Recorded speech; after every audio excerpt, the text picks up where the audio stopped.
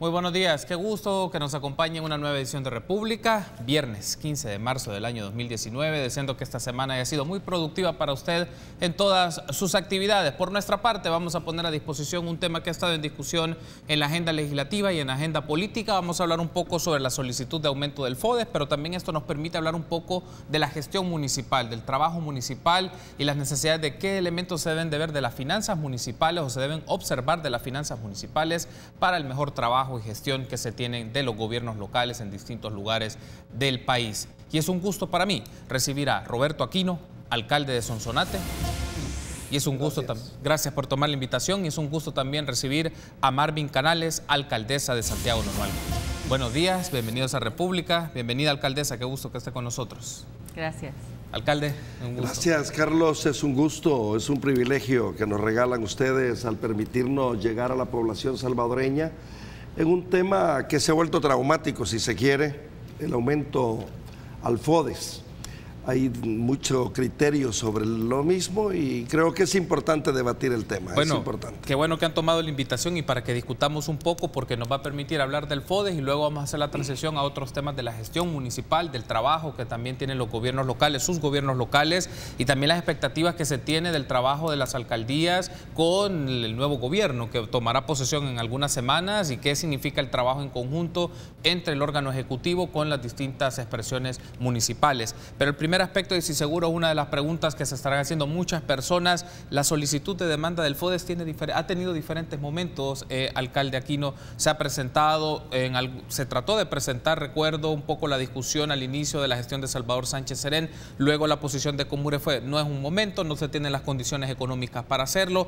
lo valoraremos posteriormente. Ahora esto vuelve nuevamente ya en etapa final de la gestión de Salvador Sánchez Serén y que sería un asunto básicamente que ya abordaría y gestionaría el presidente electo Nayib Bukele de aprobarse esto en Asamblea Legislativa. ¿Por qué nuevamente la búsqueda de un aumento en el porcentaje del FODES? Bueno, originalmente el incremento del FODES fue planteado y se vino postergando. Ha sido una necesidad que no entiendo y no logro comprender por qué se ha postergado tanto. Los alcaldes somos la primera expresión al servicio de la población el, funcionario accesible a la necesidad y el sentimiento de la gente. La infraestructura de los municipios no llega a los niveles del Ejecutivo, difícilmente. Usted podrá encontrarse que necesita la reparación de una calle que corresponde, y le voy a citar específicamente un caso de Sonsonate, la calle Loma del Muerto. La calle Loma del Muerto, allá por el 2008, logramos meterla al mapa del Fovial Fobia le daba mantenimiento, en términos normales. Con el cambio de gobierno, el presidente, el ministro Gerson la pasó al MOP, entró al mapa del MOP. El MOP no tiene recursos. Entonces la calle entró en un franco deterioro. No se le atendía. La gente nunca jamás emplazó al MOP, ni vino a buscar al ministro. Demandaba al alcalde. El alcalde lo que hacía era transferir la solicitud al MOP pero igual, nunca nos escucharon. Entonces la calle, ahí está, a quien le tocó repararla, al gobierno local, y que no la hemos reparado en la dimensión de la necesidad que tiene de, intervención la calle. Entonces la primera instancia para la población somos los alcaldes. A esto agréguenle que se nos han endosado cantidad de actividades que demandan plata. Uno de quizás el más traumático es la prevención de la violencia. Que hay que reparar vehículos de la policía. Que hay que apoyar con ambulancia a los centros hospitalarios. Que hay que colocar cámaras de videovigilancia. Que tenemos que colocar casetas de vigilancia para la policía. Darle condiciones a la policía para que puedan tener un lugar de descanso, para citar algunos. Pero hay una cantidad de elementos como la reapertura de parques, los puntos de recreación. Es decir, el tema de la prevención de la violencia demanda una cantidad de recursos tremendos.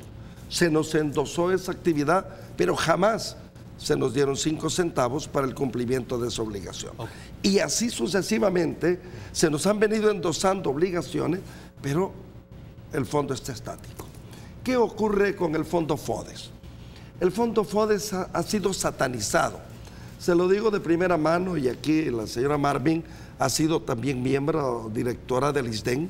Yo llevo dos periodos como director del ISDEN y nosotros podemos ver en el manejo del ISDEN las regulaciones, la reglamentación, cuál es la disposición legal que los alcaldes tenemos que cumplir para el ordenamiento o la utilización del 75 FODES que va exclusivamente a inversión. A mí me ha parecido muy inteligente la posición de Comures. La posición de Comures en cuanto al incremento le han adicionado un ingrediente que le da un concepto que viene a votar la complejidad de cómo la han satanizado. Que los alcaldes derrochamos, que hay despilfarro, que los alcaldes somos malos administradores. Se han dicho tantas y tantas cosas de nosotros los alcaldes que no vale la pena señalarlo. Pero ¿por qué digo que la actuación o la intervención de Comura ha sido inteligente? Porque el incremento del 2% no va incluido en los gastos de administración, va exclusivamente para inversión. ¿Qué significa esto? Que tendremos los alcaldes y los municipios la posibilidad de dar celeridad al proceso de desarrollo en la y transformación de calidad de vida de las personas, que los servicios llegarán con mucha más eficiencia, con mucha mayor celeridad y con mucha mayor amplitud. Se focalizan en aquellos puntos traumáticos que más demandan los servicios, pero cuando usted tiene un incremento de recursos, esto prolifera y le permite a usted llegar a mayor cantidad de, los segmentos de la población más necesitados, que es precisamente el meollo del problema en los municipios. Es, fácil ver y hablar de elementos que, que, requieren intervención en el área metropolitana, pero vaya a los cantones. Si muchas veces yo le puedo, naturalmente no lo voy a mencionar por respeto, pero le puedo enumerar cantidad de ministros que jamás han llegado a un cantón jamás han visto la necesidad de agua. Yo lo comentaba un día de estos en otro canal, que para mí fue realmente impresionante, impactante emocionalmente, a eso de las 7 de la mañana, recorriendo el cantón Chiquigua, encuentro una niña con cántaro de, agua en la cabecita, que iba caminando en las calles de polvo, para el pick-up y le dije, ¿a dónde vas? me dijo a, la casa, subió el cántaro y le pregunté que por qué no estaba en la escuela. Porque mi mamá me pone por obligación llevar el cántaro de agua, llenar el barril para el uso de la casa. ¿No es eso realmente impactante que un niño que quiere estar en la escuela va con el cántaro de agua en la cabeza? Eso inspira a que en el área rural la gente que vive allá siente igual que usted y yo tiene los mismos sentimientos, nos corre la misma sangre, tenemos las mismas necesidades. ¿Y por qué no privilegiar a esa familia que en la mañana que la niña se levanta pueda abrir el grifo y tener la regadera o abrir el, el, grifo y tener el agua ahí en su casa para que se bañe y se vaya a estudiar, para poder transformar a través de la preparación académica la calidad de vida de esa familia? Esos son los grandes problemas que muchas veces no despiertan la sensibilidad de la gente. ¿Por qué? Porque no lo conocen. Usted va a las 7 de la mañana en una calle polvosa, encuentra a una niña con ginas, ni siquiera con zapatitos, a veces descalza, caminando en tierra, en calles de tierra, polvosa, con un cántaro de agua en la cabeza, porque tiene que llenar el barril para poderse ir a la escuela. No, hombre, eso es de sensibilidad. La gente que no va al campo puede adversar el que la pretensión de los alcaldes que se incremente el FODES puede ser adversada. Lo otro, ¿por qué cobra más vigencia? Porque el candidato electo fue alcalde, conoce las necesidades de los alcaldes. Y dentro de ese conocimiento y esa sensibilidad, como elemento de su campaña, él hizo la propuesta. Él hizo la promesa de aumentar el 2%. Naturalmente nosotros le tomamos la palabra. Y un acto inteligente de parte de él es respaldarlo. ¿Sabe por qué? Y todo lo que le rodean, porque le van a facilitar el trabajo. Si las obras se hacen en los gobiernos locales, el cambio en la calidad de vida se hace allá abajo, no se hace arriba. Entonces, por eso es importante que a mí me parece que va a ser muy inteligente que el presidente electo Bukele apruebe, apoye, respalde. Aquí no se trata de quién lo promueve, quién toma bandera. Aquí es porque las, las necesidades del pueblo no tienen color político, no tienen ideología.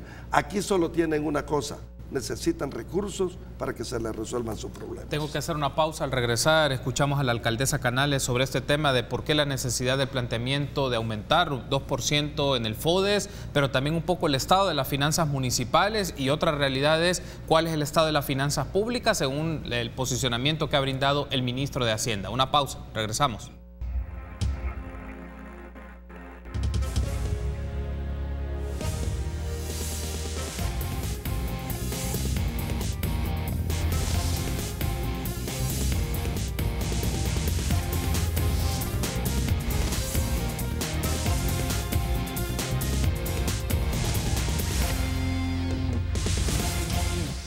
Gracias por seguir junto a nosotros en República. Esta mañana de viernes 15 de marzo estamos hablando un poco sobre la propuesta de aumento del FODES y la gestión municipal. Estamos platicando con el alcalde de Sonsonate, Roberto Aquino, y también nos acompaña la alcaldesa de Santiago Nonualco, Marvin Canales. Alcaldesa, hablemos un poco, ya en el segmento anterior el alcalde Aquino nos da un poco la justificación de por qué esta solicitud de aumentar el FODES y que también mencionaba que esto se ha satanizado el manejo del FODES.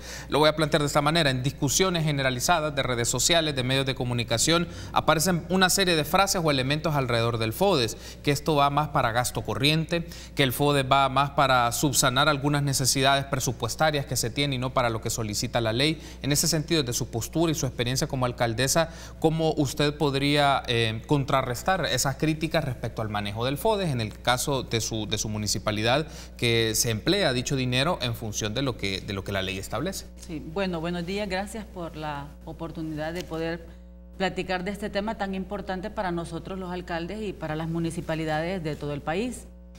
Realmente somos los alcaldes los que vivimos las necesidades más sentidas de la gente.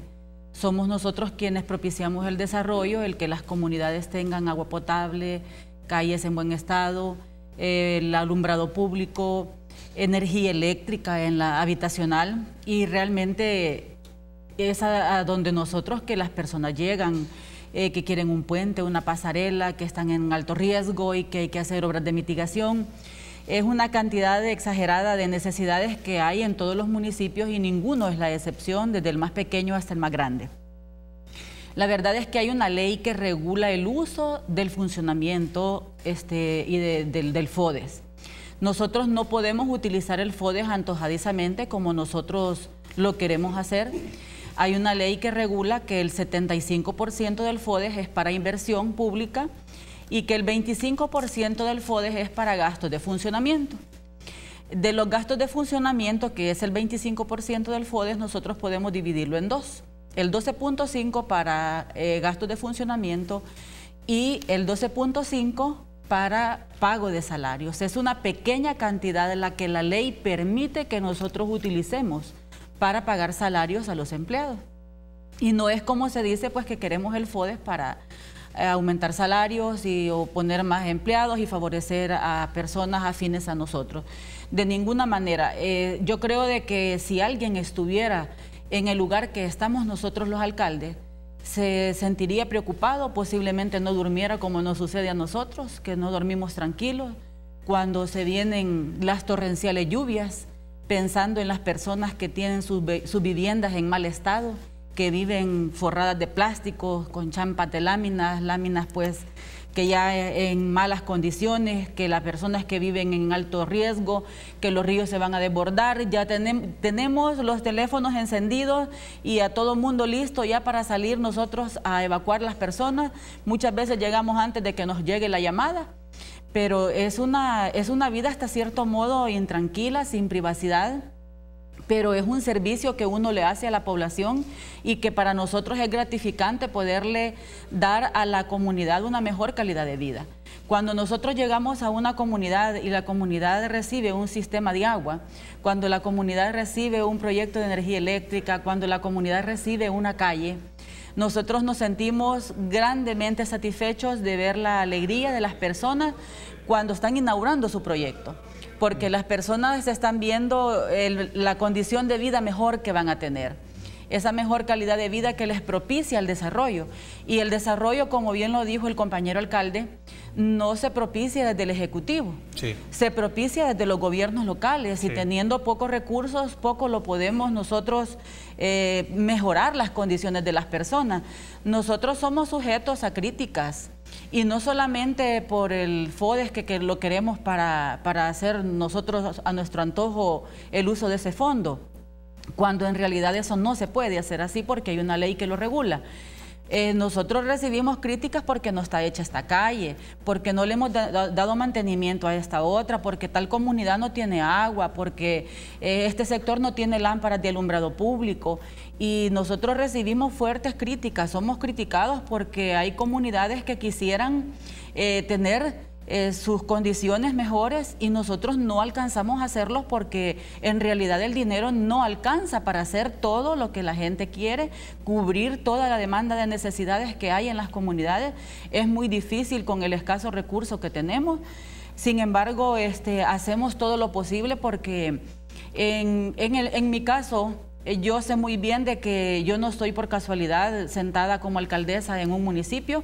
Primero sé que es una oportunidad que Dios a través del pueblo me permite y en ese aspecto eh, considero pues de que debo de ser muy responsable y mi, mi mayor compromiso es con la población.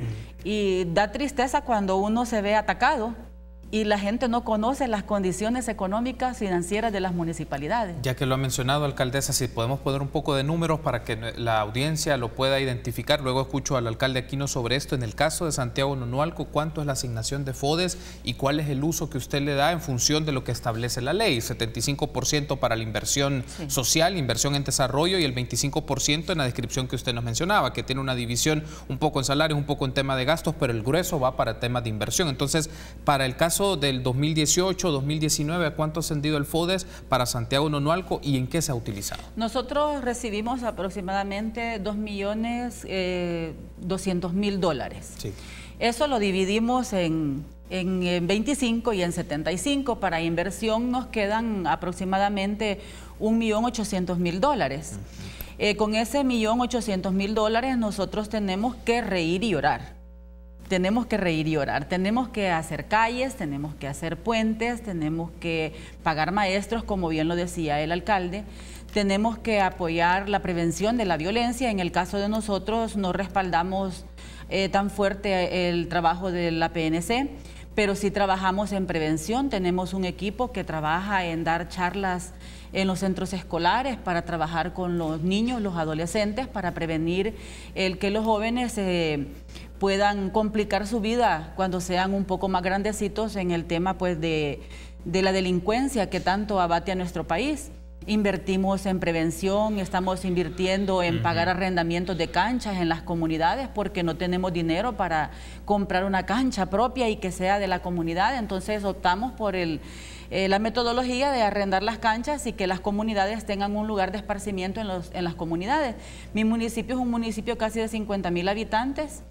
Tenemos 22 cantones, 6 eh, barrios y tenemos alrededor de 14 colonias, aproximadamente unas 45 lotificaciones. Y agreguémosle que tenemos caseríos que son del tamaño de un cantón y tenemos 87 caseríos, entonces es complicado el mantenimiento. Eh, no es fácil darle mantenimiento a las calles, tenemos maquinaria propia para darle mantenimiento a las calles que las hemos comprado con el, con el FODES precisamente para no estar alquilando, no estar arrendando maquinaria que nos sale muchísimo más caro. Entonces nosotros la inversión la hacemos eh, orientada a lo social y a la infraestructura porque ambas cosas caminan a la par y son necesarias en los municipios. Mm. Eh, no podemos trabajar solamente pues propiciando el que hayan puentes, vías de acceso en buen estado, que pavimentando, asfaltando. Eh, poniendo alumbrado público por todos lados porque la gente no paga el consumo de la energía eléctrica y lo tenemos que pagar nosotros. La gente solamente se desespera, escribe en las redes sociales y, dije, y dice, queremos una lámpara en tal sector, está muy oscuro, nosotros salimos en la madrugada a trabajar y nos vemos en la necesidad de ponerle una lámpara, pero el consumo de la energía eléctrica la pagamos nosotros. Hemos optado por una metodología en las comunidades rurales donde ponemos una lámpara, le damos mantenimiento, le ponemos la lámpara, cuantas veces sea necesario se la vamos a reparar, pero se la colocamos al medidor de la persona para que la persona pague el consumo y le ponemos una lámpara ahorrativa. Eso nos ha permitido ahorrarnos mucho este, inversión en pago de energía eléctrica porque nosotros estamos pagando un recibo de energía eléctrica del sur todos los meses aproximadamente de 7 mil dólares de, de fondos propios. Fondos propios. Estamos pagando también la disposición final de la basura eh, con fondos FODES, eh, porque el pueblo no paga lo que en realidad cuesta el servicio para la municipalidad. Nosotros pagamos la recolección, el mantenimiento mm. del vehículo, los trabajadores que andan este, recogiendo eh, los desechos sólidos y pagamos la disposición final. yo vamos a iniciar una campaña nosotros para poder limpiar nuestro municipio y que la población se involucre y había algo que se me vino a mi mente y yo dije, entre menos basura tiren las personas o boten las personas a la calle, menos dinero vamos a gastar en recoger basura. Y lo podemos invertir en el beneficio de las comunidades, en obras en las comunidades. Entonces yo siento que también la población tiene que tomar su parte, colaborar con la municipalidad para que la municipalidad pueda hacer determinados ahorros, principalmente en este rubro de recolección y disposición final para que ellos nos ayuden a disminuir las cantidades y nosotros pagamos menos y podemos invertir más en su municipio. Antes de irme a la pausa, alcaldesa, le consulto y luego en el siguiente bloque seguimos ampliando un poco esta discusión por propuestas que han surgido también de cómo observar el manejo, la gestión de los fondos FODES. Me dice 2.2 millones de dólares, es aproximadamente la asignación de FODES para el caso de Santiago Nonualco. ¿Cuánto representa los fondos del FODES del porcentaje total del presupuesto, del monto total del presupuesto? Del municipio. Del municipio, así es. Bueno, nosotros de nuestros fondos propios también este, tenemos una recaudación de impuestos que no es muy, muy grande, no es muy exuberante. Nuestros nuestras tasas municipales son muy pequeñas. Nuestro municipio es, no es un municipio industrial, no tenemos industria dentro de nuestro municipio. Somos un municipio con un comercio transitorio donde las personas llegan con sus ventas de los cantones a vender este, productos que ellos mismos producen. Eh, pues aguacates, naranjas, la agricultura es el fuerte de nuestro municipio, eh, los granos básicos, pero no tenemos nosotros industria en nuestro municipio que nos permita recibir eh, buenos impuestos. Eh, nosotros estamos recaudando de impuestos 7 mil, 8 mil dólares mensuales y de tasas por servicios aproximadamente 3 mil, 4 mil dólares. los otros rubros son los que nos hacen pues de que el el monto sea un poquito más grande y que nosotros nos podamos defender con, los ingresos municipales, pero aproximadamente nos ingresan 50, 60 mil dólares mensuales. Mm. No es tampoco de que recibimos millones de los impuestos del pueblo, porque si las personas supieran eh, realmente lo que ellos pagan y dicen las personas, nosotros pagamos nuestros impuestos. Hay mucha gente que es muy responsable con el pago de sus impuestos, pero esos impuestos no permiten ni propician el desarrollo de un municipio. Lo que permite y propicia el desarrollo es el FODES. El FODES que nos transfiere el Estado, que considero yo de que es justo porque todos los salvadoreños pagamos este, nuestros impuestos al Estado y que es justo que se transfiera esa transferencia a las municipalidades para que nosotros podamos hacer uso de él y llevar obras de desarrollo en las comunidades que le cambien la vida a las personas. Eh, me decía una persona, eh, pero es que una calle no me va a cambiar la vida.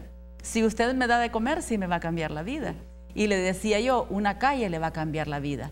Yo ahora llego a una comunidad que le hemos construido a una nueve kilómetros de calle llego a otra donde hemos hecho tres kilómetros de calle, llego a otra donde acabamos de entregarle 2.600 metros de calle y así sucesivamente yo les puedo ir mencionando cuántas, cuántos cantones se han beneficiado con calles en buen estado, asfaltadas y nosotros ya no vemos las mismas condiciones de las personas.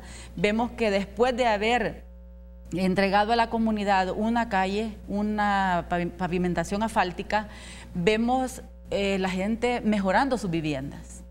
Vemos que la gente se, entusiasmó y dice, no, ya mi casita ya vale la pena que la arregle. Mm. Tal vez no haciendo mansiones, ¿verdad? Porque es un municipio que, pues, pobre, como les decía, no, no tenemos industrias en nuestro municipio que propician también la generación de empleo. Este, pero vemos que la gente se ha preocupado por mejorar sus casas, por mejorar su vivienda, a raíz de tener una calle en buen estado en su, en su sector donde ellos viven. Ok, debo de hacer una pausa, pero al regresar voy a tomar unos insumos de declaraciones del ministro de Hacienda sobre este tema y también analicemos otras propuestas sobre el análisis del manejo y la gestión del Fondo FODE. Regresamos en instantes.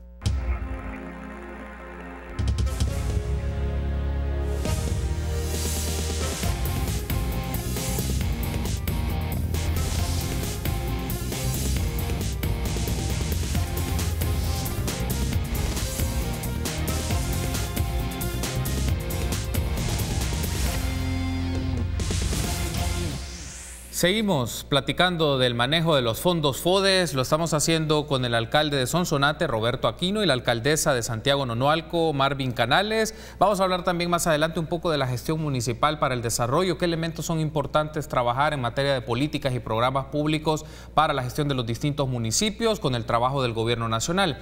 En este momento quiero pedir a producción nos puede poner en pantalla declaraciones que brindó el ministro de Hacienda sobre el tema de esta solicitud de aumento a los fondos FODES en función del estado de finanzas públicas. Nos puede servir como un elemento de referencia para tener la reacción del alcalde y de la alcaldesa. Veamos. Es que debe haber un esfuerzo por analizar globalmente, integralmente, todas las finanzas municipales. Eso implica que después de este diagnóstico que nos ha hecho el BID, debe haber algunos cambios en las normativas. Por ejemplo, la distribución del FODES debe ser diferente debe modificarse la ley de endeudamiento municipal. Debe, si lo que se quiere hacer es otro fideicomiso para eh, estructurar de nuevo eh, la deuda de los municipios, también debe estar agarrada algunos o tomada algunos criterios de evaluación de tal manera que no suceda como el Fidemuni 1, que se hizo el fideicomiso, se hace el conjunto de pago de deuda y al, al cabo de un año los municipios ya se habían endeudado 100 millones más. Nosotros lo que le vamos a presentar es un análisis, una opinión bastante detallada de cuál es la situación de los municipios y cuáles son nuestras valoraciones antes que, que deberían tomarse antes de incrementar 2% del FODES. Vuelvo y repito, la misma ley de responsabilidad fiscal que aprobaron los diputados y diputadas de la Asamblea nos está diciendo que no se pueden crear leyes sin su fuente de financiamiento. Cumplamos la ley. Bueno, ahí tenemos las declaraciones del ministro de Hacienda, Nelson Fuentes, en la que él básicamente señala que primero hay que ver las condiciones del endeudamiento municipal, hay que ver también un diagnóstico que va a trabajar el Ministerio de Hacienda. Esto ha surgido un poco por un, estudio que ha presentado el BID. Ya vamos a hablar y tomar algunos extractos de la presentación de dicho estudio que tiene que ver sobre el tema de las finanzas municipales. Pero aquí, alcalde Aquino, lo que menciona el ministro de Hacienda es, antes de hablar de aumentar en porcentaje, tenemos que ver las condiciones del endeudamiento y ver cómo se puede modificar la distribución y el uso que se hace de los fondos. Me gustaría tener su reacción sobre las declaraciones del ministro de Hacienda, si usted comparte o no dichas declaraciones. Mire, comparto porción. Mm. Por ejemplo, que hay que revisar los endeudamientos municipales, me parece que es una medida que sí debe ser analizada. Se creó Fundemuni, que, fue un fondo que, surgió hace aproximadamente quizás unos 7, 8 años aproximadamente. Fue con el presidente Funes que surgió. Sí, ¿verdad? 2009. Sí. Y eh, cierto, muchos tuvieron otros endeudamientos y el nivel de endeudamiento en este momento sí es preocupante y hay que analizarlo. Yo estoy totalmente de acuerdo. Que hay que ver la fuente de dónde va a salir del gobierno central el 2%. Mire, aquí se han en el pasado y en el presente hecho disposiciones en el orden económico y, tampoco hemos sabido de dónde surgen los fondos, pero se han hecho. Y fondos que, no han tenido impacto en la sociedad como tendría el impacto en, la línea del FODES. Dice, hay que hacer revisión del manejo del fondo FODES. Sí, está, cualquier revisión es importante hacerla. Mm. Eh, lo que dice el BID también es importante, pero yo le resumo al señor ministro y a la población. No hay fondo mayormente auditado en este país, en la esfera pública, como es auditado el Fondo FODES. El Fondo FODES tiene una vigilancia especial de la Corte de Cuentas que parangoneando con cualquier otra área específica del sector público que sea auditado por la Corte de Cuentas. Ya que lo menciona, alcalde, perdón que le interrumpa, pero me, llama mucho la atención esta idea de cómo auditar, eh, cómo se audita los fondos FODES. ¿Qué hace la Corte? Pongamos un ejemplo, en el caso de Sonsonate, ¿qué hace la Corte de Cuentas cuando va a auditar los fondos que provienen del FODES? ¿Qué, qué identifican, qué investigan, eh, qué tipo de información le requieren a usted o a las personas del tema más contable o de gestión de las finanzas municipales cuando se hace una, una investigación, una indagación o una auditoría de este dinero? Cuando la auditoría de, la Corte de Cuentas llega, audita básicamente dos elementos. Los fondos FODES en prioridad y el fondo común. El fondo común es lo que nosotros recaudamos. Del fondo FODES quiere conocer la carpeta técnica. El fondo establece en el 75% que usted puede utilizar el 5% para, para, la elaboración de la carpeta, para los estudios de preinversión, etcétera, etcétera. Y luego la inversión del 75% que es para infraestructura. Le auditan desde el volumen de obra hasta la obra concluida. Es decir, que hay mediciones. Si usted hizo una carretera, hizo 5 kilómetros, por decir algo, van y le miden el espesor, el material utilizado, las compras hechas, eh, cómo, licitó, si cumplió los parámetros de la LACAP, etcétera, etcétera hay una cantidad de elementos, le, puse como una carretera por, por decir por un ejemplo, sí. Pero son exhaustivas las, las, auditorías de la Corte de Cuentas en el Fondo FODES. Por eso les digo, no hay en la esfera gubernamental, en la esfera pública, ningún fondo, ningún recurso, y se lo digo con conocimiento, que sea tan vigilado tan auditado y tan frecuentemente auditado como son los fondos de FODES. Por eso es de que cuando nosotros los alcaldes decimos, están satanizando. Yo estuve hace poco en una reunión en donde la gente hablaba del fondo FODES, que los alcaldes son ladrones, que los alcaldes despilfarro, que los alcaldes utilizan el dinero para uso propio, personal, etcétera, etcétera. Y al final de tantas cosas, empiezan a preguntar cómo es que se manejan las municipalidades. Las municipalidades tienen una complejidad que ustedes no tienen idea. La alcaldesa tiene ya siete periodos, si no me equivoco. Su servidor tiene cinco periodos. Fui gobernador durante cuatro años. Esa experiencia acumulada nos permite como conocer un poco. Y por eso da tristeza cuando gente que no conoce, que nunca se ha internado a los municipios, a los gobiernos locales, hablan en, términos generales. Ya la alcaldesa lo citaba. No hay mejor manera de desarrollar un país que los gobiernos locales. Fíjese usted que nosotros estuvimos invitados por el gobierno de los Estados Unidos a conocer la experiencia de Colombia en Medellín y estuvimos en Bogotá. Y el alcalde de Medellín nos decía que la metamorfosis que vivió Medellín para poderse desarrollar económicamente fue precisamente la descentralización del gobierno. Cuando vino la descentralización, por ejemplo, en, la, en, la, en la parte de la escolaridad, tenían tanta, pero tanta fuga. Y una asignación presupuestaria del gobierno invariable. Es decir, a usted le va un millón, hipotéticamente hablando, de dólares para la escolaridad de su municipio o para, manejado por el gobierno central, para, la departamental de educación. No importaba cuántos alumnos tuviera. Si había fuga de escolaridad, pasaba como número estadístico y no habían acciones. Cuando se descentralizó, la cantidad que se daba se mantuvo, pero se puso un estímulo. Por cada alumno matriculado y que termine el año y que se mantenga, hay un bono especial. Ha, ha habido un crecimiento de escolaridad tremendo. Mejores calles, mire, el fobial. Yo pongo estos ejemplos porque es importante decirlo y aquí no es afán de atacar a nadie. Pero el fobial, por ejemplo, es un fondo que pagamos todos. Usted tiene su vehículo y cada vez que echa gasolina sabe que está aportando. Las cabeceras pueden ser el instrumento utilizado por el gobierno central para la distribución del FODES en los departamentos, para los municipios que no tienen gasolinera, porque hay municipios que ni gasolinera tienen, que son municipios tan pobres que hay que ayudarles, pero esos municipios están olvidados. Sin embargo, a San Salvador se ocuparon fondos FODES para hacer los bypass, para hacer el paso del Jaguar, para hacer el paso de la Gran Vía. Esos fueron fondos FODES.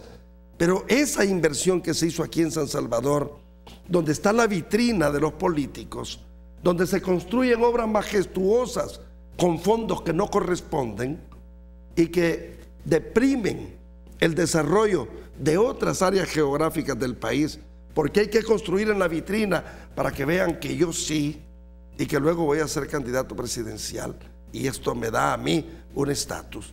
Eso no se vale. Y eso ocurre en nuestro país.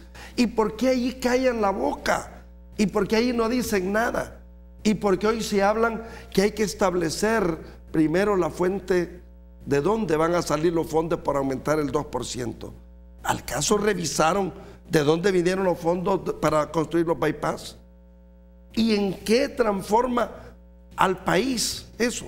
Yo estoy muy contento, muy bonito, pero lo he vivido en mi, municipio calles en deterioro, eh, calles en los otros municipios que no han tenido mantenimiento. Realmente, mire, muchas veces nos golpeamos el pecho, pero estamos cometiendo el pecado. Y eso es muy malo, porque nosotros eh, hablamos, pero no llegamos a, conocer allá.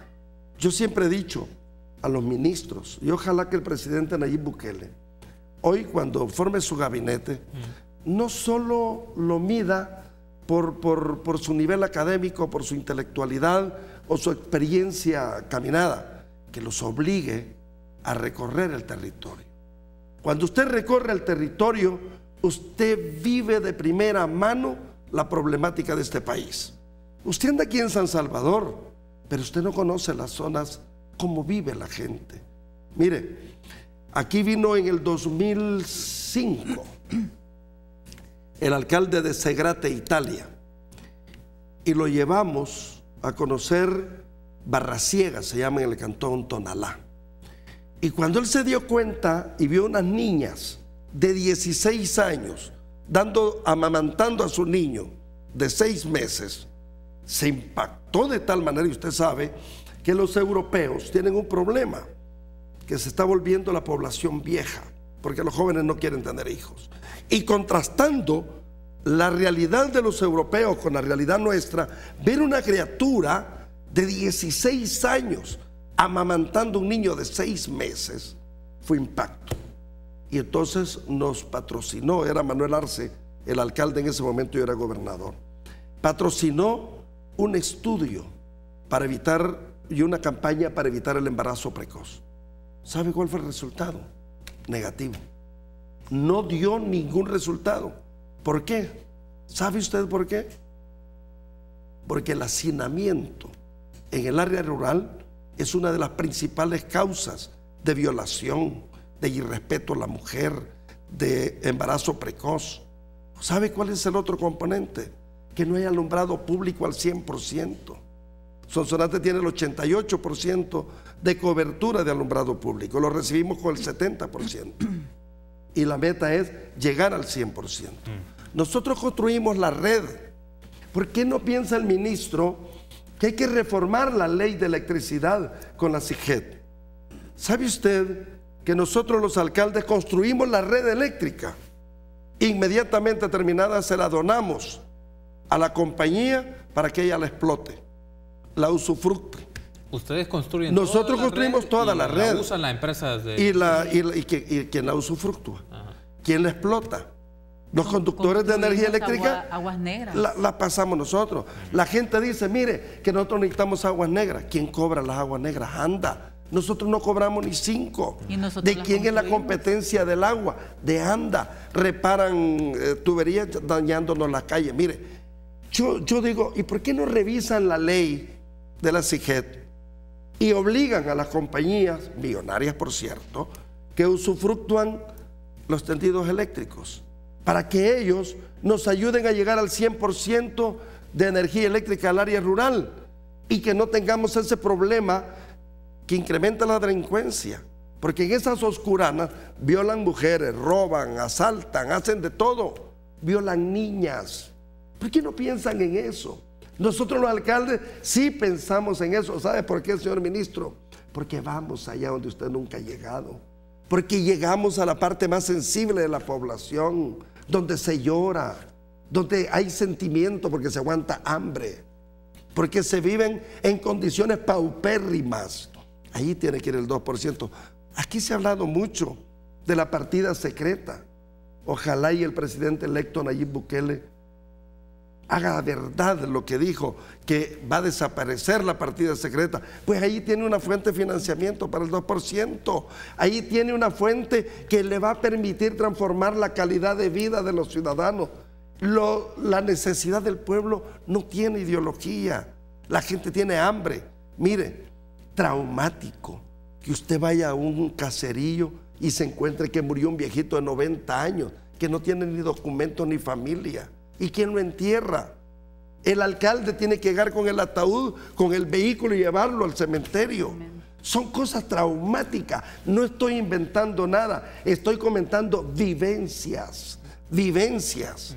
Ojalá un presidente como el señor Nayib Bukele llegara un día a mi, municipio y me permita que yo lo lleve a los cantones, a usted como periodista, llevarlo a los cantones. Mire, si es que usted llega al río, usted llega al río, que ya casi ni agua tiene, y encuentra a las criaturas con sus pechos descubiertos lavando ropa. En esta etapa de la vida, esto es inconcebible que esté ocurriendo. Ya no debiera de ocurrir. Y usted cree que los jóvenes, viendo una criatura de 17 años con sus pechos descubiertos, no le despierta de ver la belleza de la mujer así. ¿Y no cree usted que esto es el principio de una deformación mental, social? Esos son fenómenos que ocurren. Lo que ocurre que se quiere ver macroeconómicamente los problemas y no se quiere llegar al meollo del problema. Tengo que, hacer una, tengo que hacer una pausa, alcalde, pero al regresar discutamos un poco el tema en qué sentido. Primero, ¿Qué competencias de tareas tiene el gobierno nacional en función de problemáticas como pobreza, exclusión y otra serie de elementos que usted ha mencionado y qué otras son de los, de los gobiernos locales en función de sus competencias y sus capacidades financieras? Partiendo un poco también de este escenario, pongamos esta situación. Si en dado caso no aprobaran el FODES, ¿qué otros elementos, el aumento al FODES, qué otros elementos se pueden hacer para que puedan tener financiamiento sostenido ustedes como alcaldes y alcaldesas y que puedan trabajar en sus municipios? Vamos a discutir al regresar tras la pausa y escuchar a la alcaldesa Canales sobre qué pasa con el FISDL, con el PFGL y los proyectos que ahí tienen, qué pasa con el proyecto de ley de descentralización, que la Asamblea Legislativa tiene un tiempo ahí que está, que está en frío o que lo tienen ahí guardado. Y otro de los temas que me interesa es si se debe de hacer una recomposición del manejo de FODES, porque hay municipios que son los que tienen más ingresos a través de impuestos y tributación y que reciben más FODES, y hay otros que son pobres y no están recibiendo la misma cantidad. O sea, hagámoslo más progresivo. Me gustaría el, para, el parangón está el que recibe más porque también tiene más población, más territorialidad. Entonces podemos discutir si vamos a aquellos que son más pobres y le damos más prioridad, porque el que tiene más población y tiene más capacidad de tener impuestos no creo que lo necesite tanto. Vale, lo podemos discutir tras la pausa, porque me interesaría que lo discutamos. Una pausa. Regresamos instantes.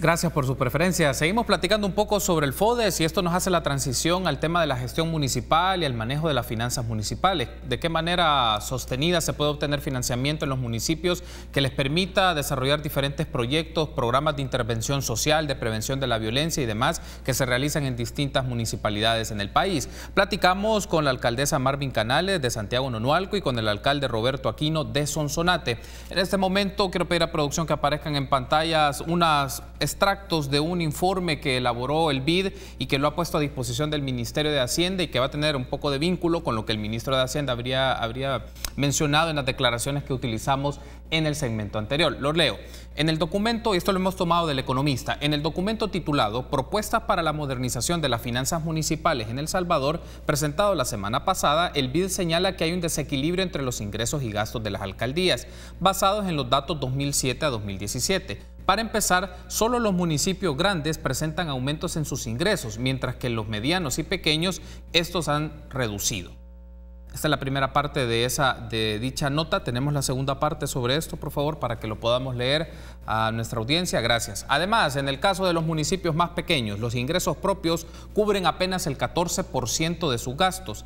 El BID concluye que el ritmo de crecimiento del gasto en las municipalidades no es sostenible que no se genera ahorro corriente y que aunque aumenten los servicios que brindan, también aumenta su déficit. Entonces, esto es un extracto de un estudio que ha hecho el BID y que lo puso a disposición del Ministerio de Hacienda y que en función de eso son elementos que ha marcado el ministro de Hacienda respecto a su declaración ante esta solicitud de aumento en 2% del FODES. Ahora bien, alcaldesa, solo me gustaría... antes de la alcaldesa, con las disculpas del caso, fíjese que en la primera parte habla, alcaldesa, esto póngale mucha atención en, esa parte habla que los municipios hemos reducido la recaudación.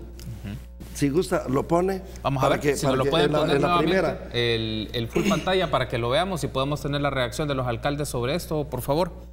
Lo tenemos ahí. En la, primera dice se, han, ya lo van a poner se han reducido. esa parte, mire.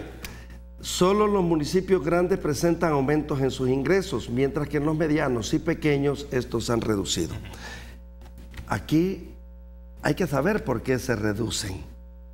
Por ejemplo, y esta es una denuncia pública, que Milagro Navas la hizo ayer en una radio, pero que los alcaldes debemos de asumir un papel protagónico en los próximos días y va a ocurrir.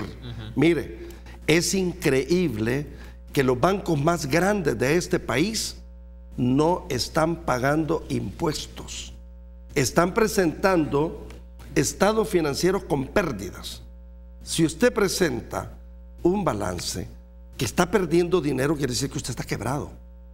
Y tiene alrededor, le puedo mencionar Santa Ana, La Unión, Sonsonate, eh, San Salvador, Santa Tecla, cantidad, hay alrededor, habemos alrededor de unas 15, si no más, alcaldías, que los principales bancos del país están declarando pérdidas. Y nosotros, no hemos mencionado nombres de los bancos, pero le digo que son los más grandes bancos del país. Solo a Sonsonate le deben más de 700 mil dólares los bancos de impuestos, porque declaran pérdidas.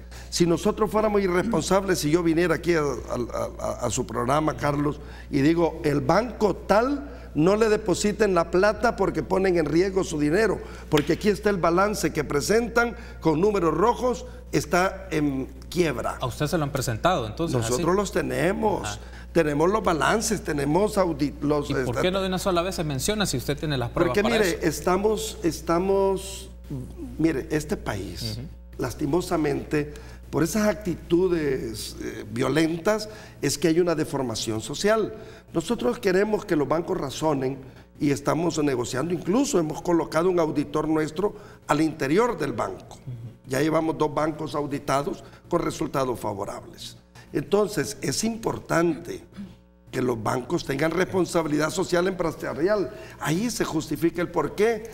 Y como hay un grupo esta es una empresa de eh, abogados pícaros.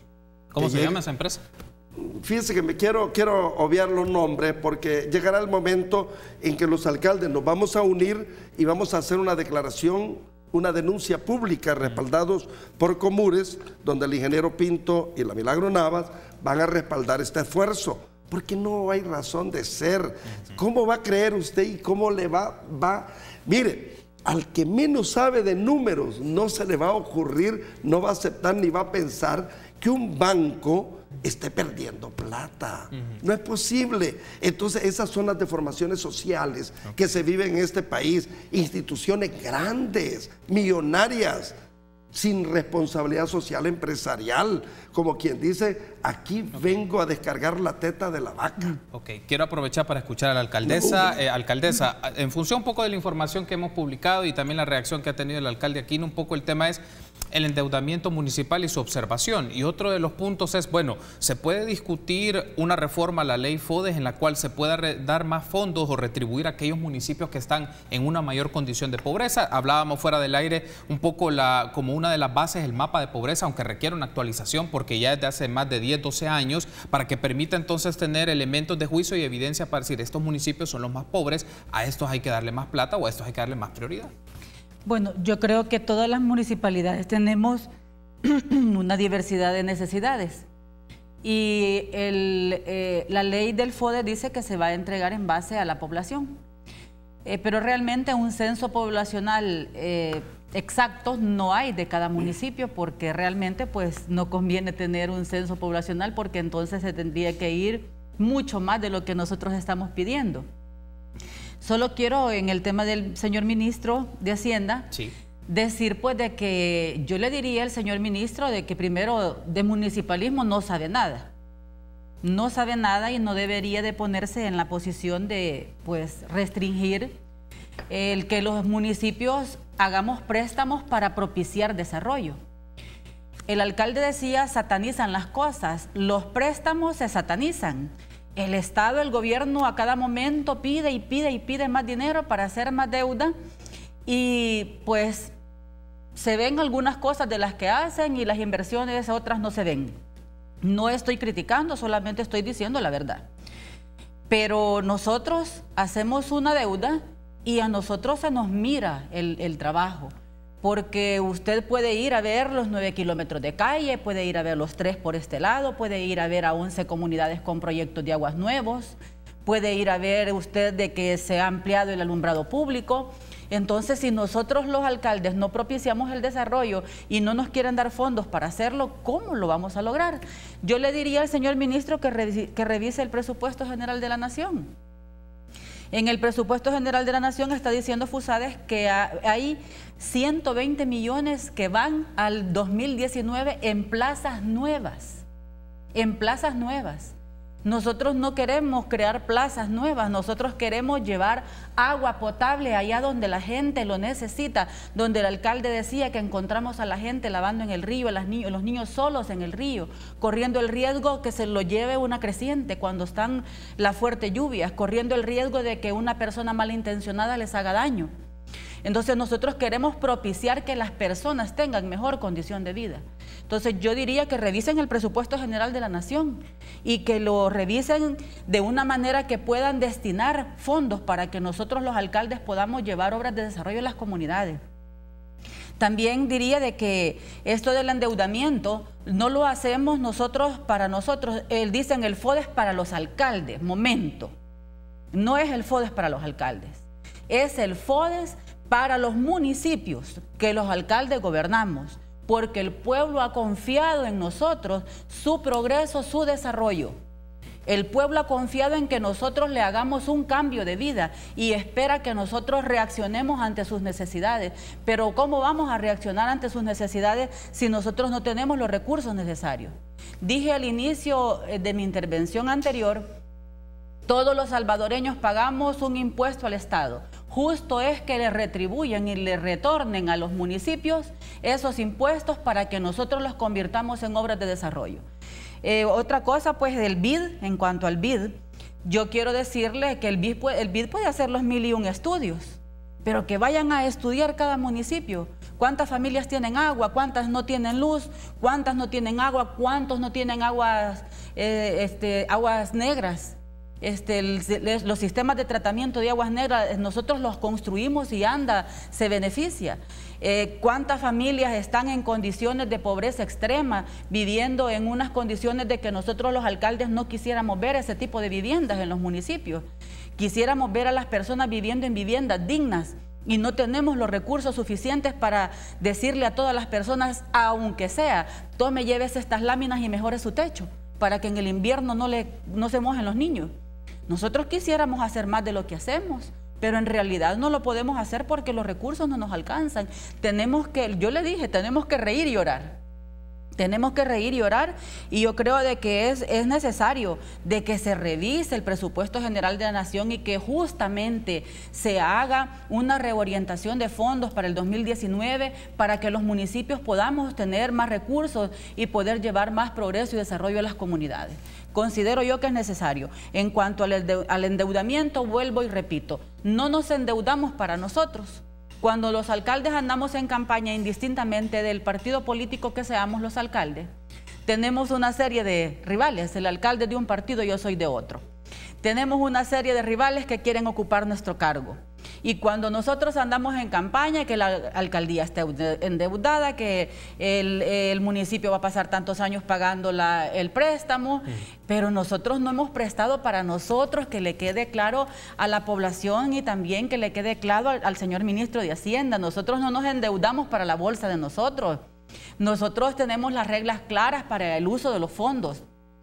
Y si nos endeudamos, nos endeudamos para que las personas vivan mejor.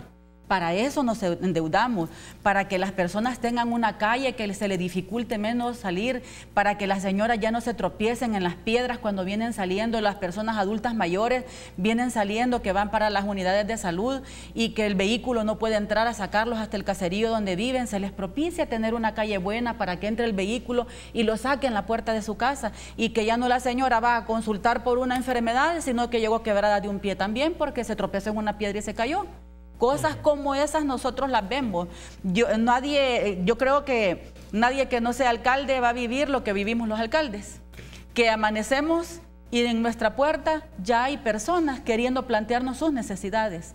Nosotros con gusto les atendemos hasta en nuestra casa, porque sabemos de que las personas llegan porque tienen eh, necesidades latentes en, sus hogares, necesidades personales muchas veces. Tengo que hacer una pausa, pero al regresar incorporemos otros elementos en la discusión. Uno de los debates que aparece acá es el impuesto predial. Si puede ser una alternativa el impuesto predial como una fuente de financiamiento sostenida para los gobiernos locales y el proyecto de ley de descentralización, cómo se puede fortalecer y poner en realce en la discusión pública. Una pausa, regresamos.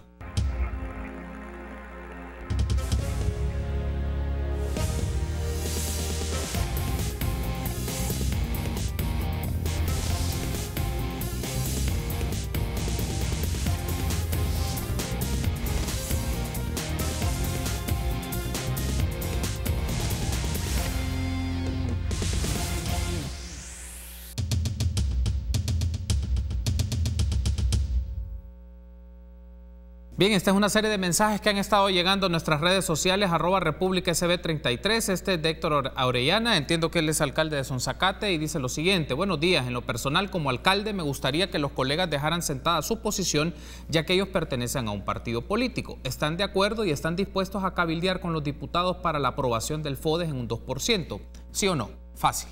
Eh, alcaldesa, eh, empezamos con usted en función de la pregunta del alcalde de Sonzacate. Bueno, yo quisiera responderle al alcalde de Sonzacate que si estamos aquí defendiendo esta posición es porque estamos dispuestos a cabildear. Eh, principalmente el presidente electo es de mi partido político y considero pues de que eh, el, el presidente en algún determinado momento ha sido alcalde y ha sentido las necesidades de la gente como nosotros las sentimos. No estamos diciendo que esto se haga ya, eh, por eso es que hemos iniciado esta gestión, esta lucha, podríamos decirlo, para propiciarle mejores condiciones de vida a, las personas de nuestros municipios, pero estamos dispuestos a llegar a, los cabildeos necesarios con todos los partidos políticos y de hecho como Comures lo estamos haciendo. Eh, pertenezco a la Junta Directiva de Comures y estamos trabajando precisamente eh, con los diputados para que esto pueda ser este, realidad para los municipios. En ese caso sí estaría dispuesta a hacer el cabildeo, porque le ha dicho, lo está mencionando acá y lo van a trabajar acá, aunque digamos, para usted es una prioridad que esto se pueda resolver antes de que termine esta gestión del presidente Salvador Sánchez Serén, o usted considera que esto se le tiene que dar un poco más de tiempo. Yo creo de que no podemos este, trasladarle un problema serio al presidente electo.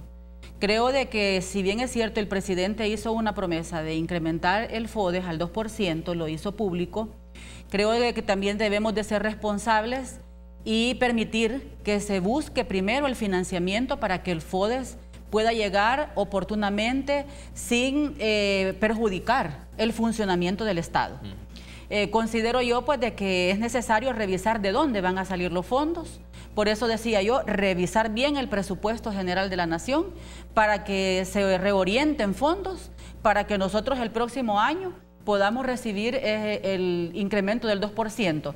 Pero dispuestos, alcalde de Sonzacate, dispuestos, alcalde, a darle seguimiento a esto y aunque no lo logremos ya, lo logremos mañana, pasado mañana, cuando lo logremos, pero primeramente Dios lo vamos a lograr y dispuestos a continuar. Muy bien, alcalde Aquino, su respuesta al alcalde de Sonzacate. No, definitivamente que estamos en la línea que el incremento se dé. Yo voy a disentir un poco con nuestra colega alcalde, alcaldesa. Yo creo que hay que resolverlo ya, porque de lo contrario, cuando llegue el presidente electo va a tener la ventaja de poderlo vetar. Hoy se va con 43 votos y el presidente Sánchez Serén, eh, quiero entender que está en la disposición de, de aprobarlo. Pero si llegamos al momento que asuma el presidente Bukele, podría vetarlo y ahí se necesitan 65 votos para superar el veto, lo que significa que podría entramparse en un conflicto social público eh, la situación del incremento del FODE. Yo creo que debe de hacerse ya. Y dentro del presupuesto lo hemos planteado, no solo nosotros, los alcaldes, sino economistas, que hay 118 millones de dólares que estaban en el presupuesto 2019 para incremento de personal. Yo creo que ahí están los recursos. La fuente de financiamiento. La fuente de financiamiento para eso. También nos van a aparecer en pantalla otros mensajes que han llegado a través de nuestras redes sociales, a través de Twitter. Ahí está, Rafael Hernández Cisneros, a través del Twitter de República, arroba República SB33. El problema con las alcaldías es que mucho alcalde al incrementarse los ingresos se aumenta el salario. En muchas alcaldías el FODE sirve en su mayoría para pago de salarios. Hay una gran deficiencia del cobro de impuestos. Lo otro es más fácil. Rafael Mengíbar dice lo siguiente, el FODE debe aumentar, pero bajo parámetros de evaluación de resultados. Hay alcaldías que están sin servicio del partido político en toda actividad local. Y este usuario dice, el centralismo del nivel nacional afecta a la gestión municipal. Descentralizar competencias con recursos es clave para atender temas básicos de salud, educación y seguridad. Esos son unos mensajes que nos han llegado a través de nuestras redes sociales en Twitter y también en Facebook nos ha llegado otro mensaje de Rebeca Real, dice lo siguiente, en realidad las municipalidades son las que tienen el contacto directo con la gente, ven necesidades que difícilmente las verá un diputado o un ministro, las demandas son mayores, la población va creciendo a pasos agigantados. Y también Nelson Bonilla está pendiente de este programa desde Santiago Nonual. Un cordial saludo para, para Nelson. Bueno, alcalde, entonces, si le parece, una reacción a los comentarios que nos han hecho nuestros amigos en redes sociales y finalizaríamos con la reacción de la alcaldesa. Yo la que más abrazo es la de Patti Garay. Comparto al 100% con ella. El, el Estado, al centralizar, deprime el desarrollo la, mejor manera para alcanzar la celeridad que requiere el desarrollo en las comunidades es la descentralización. Ese es el primer paso. Yo lo decía días atrás, el candidato presidencial de Arena, Carlos Callejas, marcó énfasis en la descentralización. Yo creo que el presidente electo Nayib Bukele debe apostarle a la descentralización. La descentralización le va a ayudar muchísimo al país y particularmente al gobierno que va a presidir naturalmente Nayib Bukele. Y alcalde, ¿por qué considera usted que el proyecto de ley de descentralización se ha ralentizado, se ha congelado mucho en la Asamblea Legislativa? Se está discutiendo en la Comisión de Municipalismo, va y viene. Entiendo que hay ahí un interés también de agencias de cooperación a nivel internacional que este proyecto se pueda aprobar y que se pueda materializar una ley de descentralización en el marco ya de la ley, que es, otras leyes que están en el campo municipal. Fíjese que darle una respuesta específica contundente del por qué, no podría. Pero yo sí creo, yo sí creo que es necesario darle celeridad, que ya no debe estar en el congelador, que debe salir y debe de implementarse ya. ¿Sabe por qué, Carlos? Sí. Todavía tenemos dos años, los, los, alcaldes actuales, dos años de ejercicio.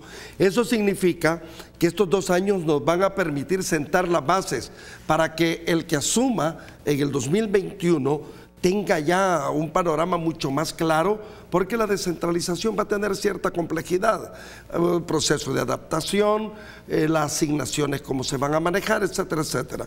Entonces yo creo que sí es urgente e importante sacarlo del congelador, implementarlo y ya ponerlo a funcionar. Ok, ahora, alcaldesa, me gustaría escucharle también sobre esto, las reacciones y los comentarios que han llegado nuestros amigos en redes sociales. Primero, un poco la discusión que dice uh, un ciudadano, el de Rafael aumenta el FODES, se aumentan los salarios. Es la noción que él mencionaba. Rafael Mengíbar es más de que el desarrollo local es una prioridad y que se debe buscar la descentralización. Y el comentario de Patricia Garay es, el centralismo afecta en la gestión municipal, hay que descentralizar competencias. Y esto nos conecta un poco con lo que le consultaba al alcalde Aquino. El proyecto de ley de descentralización resulta algo vital, no solamente con el tema de financiamiento y gestión de la deuda, también tener competencias ustedes que les permiten en alguna medida eh, desarrollar más trabajo, generar más fuentes de ingresos y ahí aparece decía también el tema del, impuesto predio. Bueno, este, desde mi punto de vista, desconozco si en algunas municipalidades las personas aumentan el FODES, aumentan los salarios, porque tenemos tantos años que no se nos aumenta el FODES.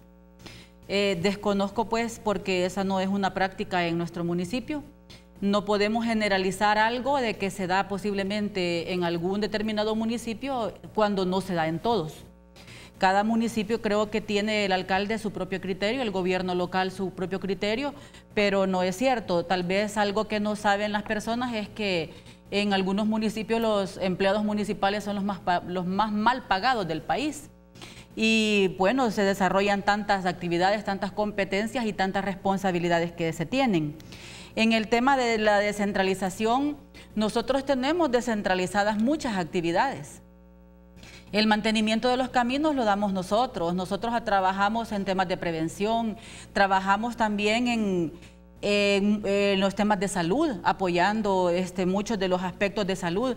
Bueno, de hecho ya nosotros cubrimos medicamentos de enfermos, traslado de enfermos a los hospitales, nos hemos visto en la necesidad de hacer eh, gestiones con cooperantes internacionales para conseguir ambulancias, porque yo nunca he recibido una ambulancia donada de nadie por medio del Estado y tengo tantos años de ser alcaldesa y nos hemos tenido que aventurar a la cooperación internacional de quienes estamos recibiendo mucho apoyo de la, de la Diputación de Barcelona, la Diputación de Sevilla, el Ayuntamiento de Zaragoza en España.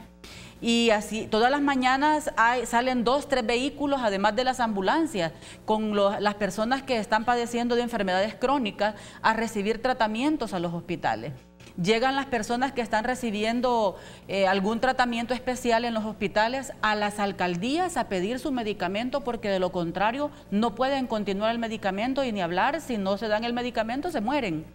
Entonces los alcaldes estamos asumiendo quimioterapia, medicamentos especiales para el cáncer, medicamentos especiales para la insuficiencia renal.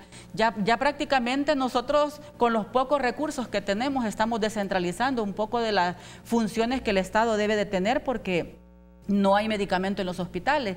Entonces considero de que la descentralización sería algo muy oportuno porque de alguna manera ya lo manejamos. Ya no es un tema que para nosotros sería este, algo de que no vamos a hallar cómo hacerlo, nos vamos a sentir este, eh, un poco complicado. De ninguna manera ya es algo que lo hacemos y creo pues de que sería lo más oportuno eh, seguirle dando vida a esa ley y que se logre la descentralización. Y otra de las cosas es pues de que eh, es necesario, es necesario que la, población también tome conciencia. No, no solamente eh, criticar el trabajo de los alcaldes, porque nosotros sabemos muy bien que nosotros tenemos detractores políticos, seamos del partido que seamos. Pero eso no quiere decir que nosotros no tengamos la conciencia y la convicción que nosotros somos servidores de las comunidades, que somos servidores de las personas y que nos debemos a las personas y que para ellos debemos de trabajar. Que no hagamos todo, estamos hablando precisamente que el dinero no nos alcanza. Y nosotros, como les decía, nos vemos atacados en nuestro municipio. No creo que el alcalde no le, no le pase. Nos vemos atacados que eh, hace falta esto, no han hecho esto, no han hecho esto, pero lo que no tenemos es dinero suficiente. Y en la medida la población participe y nos ayude a resolver la problemática, también nosotros podemos este, avanzar en obras de desarrollo que las comunidades necesitan. Estamos trabajando en determinados caseríos, eh, donde estamos haciendo esfuerzos mutuos, la comunidad poniendo una parte, nosotros poniendo otra. La comunidad debe de ser comprensiva y debe de saber de que entre más participación ciudadana hay, los problemas se, facilita resolverlos.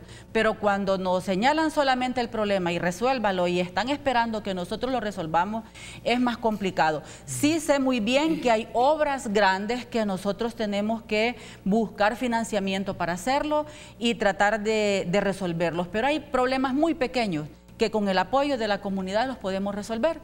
Eh, hay veces yo veo en la televisión cuando están saliendo los programas, este eh, que tienen contacto con la comunidad y las personas salen denunciando, por ejemplo, un bache en una calle.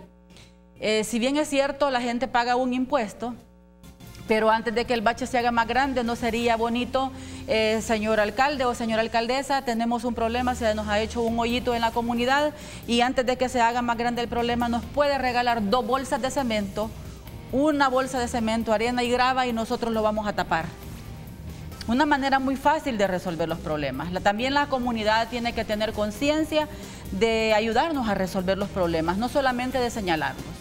Y yo creo pues de que es injusto que se señale de que eh, los incrementos de salario, cuando FODES no hemos incrementado desde el tiempo de, del presidente Saca, y no han habido más incrementos del FODE, entonces no han habido incrementos de salario. Muy bien, quiero darle las gracias por haberme acompañado. Alcaldesa Canales, ha sido un gusto, gracias por haber estado con nosotros en este set. Alcalde Aquino, también ha sido un gusto, gracias por habernos acompañado. La invitación está hecha para que sigamos discutiendo no solo este tema de FODE, gestión municipal, endeudamiento municipal, poco los programas y los proyectos que hacen en Sonsonate y en Santiago Nonualco para que la gente sea de conocimiento general. Algo importante y solo para concluir en este tema de los, de los incrementos salariales.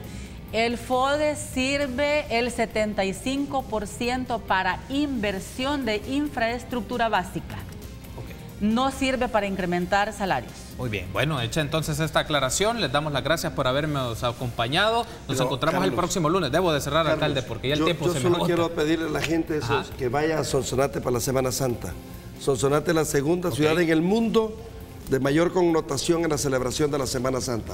Les esperamos en Sonsonate. Ahí se funda el calor climático con el calor humano. Somos buenos anfitriones y somos la segunda en el mundo. Así que vivámosla. Bueno, gracias por habernos eh, por hacer esta invitación. Nos encontramos el próximo lunes, 6.30 en República. Buen fin de semana.